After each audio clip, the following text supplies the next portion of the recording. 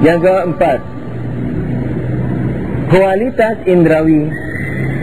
Apa kualitas indrawi? Yakni kualitas-kualitas yang bisa diindra dengan panca indera.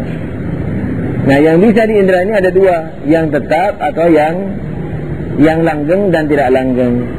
Kalau cepat hilangnya seperti merahnya wajah, malu atau marah disebut dengan interaksi sementara. Dan kalau abadi seperti kuningnya emas disebut dengan interaksi tetap. Begitu. yakni apa namanya kualitas indrawi ini yaitu kualitas-kualitas yang bisa diindra. Kalau cepat hilangnya disebut eh, interaksi sementara. Kalau disebut interaksi eh, apa namanya tetap. Begitu. Ada pertanyaan? Kalau tidak ada pertanyaan, kita teruskan ke pasal 11. Kategori apa? Hubungan. Yang tadi kategori kualitas, yang kemarin kategori kuantitas, kemudian yang sebelumnya kategori substansi Presiden. Enggak, kuantitas substansi, sorry. Yang sebelumnya, si. Kemudian setelah substansi kita bagi lima masuk ke dalam aksiden. Pertama, kategori aksiden kualitas, kuantitas, kemudian kategori aksiden kualitas yang tadi. Kemudian sekarang kategori hubungan. Ya, ini apa kategori hubungan?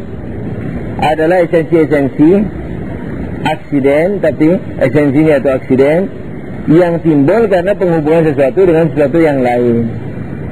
Nah, tidak seperti emas, kuning emas tadi, putihnya kapas, bukan karena sesuatu yang lain. Tapi ini karena sesuatu hubungan sesuatu dengan yang lain, seperti depan tadi. Seseorang yang berdiri di depan dihubungkan dengan yang lain di belakangnya dibilang di depan. Yang di belakang juga begitu, dibilang di belakang. Kenapa di belakang? Karena di belakangnya itu orang itu misalnya, begitu. Imam di depan makmum, makmum di belakang imam. Itu terjadi depan belakang terjadi karena penghubungan. Oke. Okay. Apa kategori hubungan? Esensi-esensi aksiden yang timbul karena penghubungan sesuatu dengan sesuatu yang lain. Mereka ada tujuh macam, yaitu di mana uh, bahasa Inggris disebut pledge, makanya harus pandai-pandai. Makanya kalau orang menurut saya ini tidak mempelajari filsafat lalu menterjemah buku-buku filsafat bakal kacau balau. Bukan kacau balau saja tapi kacau balau. Jadi betul-betul kacau balau dan mendatangkan balak. Ya, ini. Mereka ada tujuh macam, di mana kapan posisi milik hubungan aksi dan interaksi. Di mana? Satu di mana? Apa di mana? adalah aksiden yang timbul dari penghubungan sesuatu dengan tempat. Hal mana ia bisa ditempati atau ditinggalkan. Ini ciri-cirinya. Bisa dikatakan di sini dan di sana. Bisa memiliki posisi dengan diri dan lingkungannya. Berukuran dan bisa dibagi. Dan bisa menolak benda lain manakala suatu benda telah menempatinya. Ini kriterianya banyak sekali. Perdebatan dalam hal ini ada ada. Di buku filsafat panjang be, apa? Panjang sekali perdebatannya mengenai di mana ini. Apa hakikat di mana itu? Malah ada yang mengatakan kok nggak salah non materi. Hmm, begitu. Uh,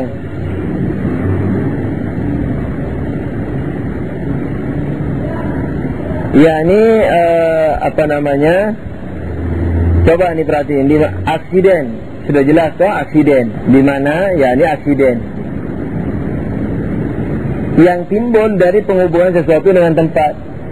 Misalnya saya nah, dengan tempat saya, yakni dengan volume yang saya miliki dan juga posisinya dengan tempat dulu deh, dengan volumeku.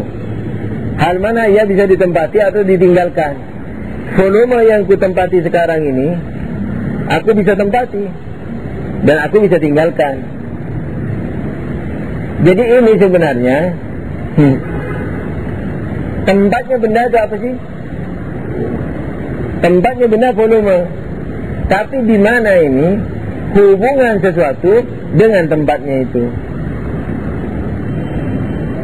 Jadi bukan uh, sekaligus tempatnya, tapi hubungan sesuatu dengan volumenya.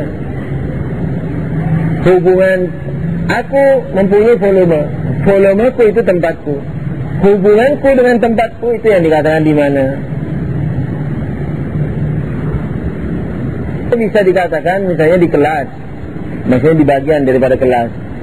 Jadi hubunganku, hubunganku dengan volumeku di, volume itu bisa ku datangi, bisa ku tinggalkan. Volume ku tidak bisa ku tinggalkan.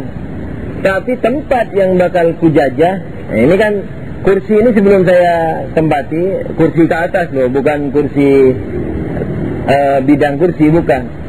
Kursi ke atas ini, udara ini, itu kosong, kosong dari saya. Penuh dari udara-udara. Lalu saya mendatangi, saya, saya usir semua udara-udara ini pergi. Atom-atom udara pergi, lalu saya jajah, saya duduk di kursi. Ingatlah ya, kursi yang saya maksudkan bukan bukan yang kududuki ini. Kursi ini dengan udaranya ke atas ini, ku jajah. Nah ini yang dinamakan di mana? Di mana? Di mana? Di mana ini bukan di mana tempat? Di mana bisa ku jajah? Bisa aku, aku pergi dari kursi. Kursi dipenuhi lagi oleh atom-atom sehingga aku tidak ada lagi di situ. Volume aku tidak ada lagi di situ.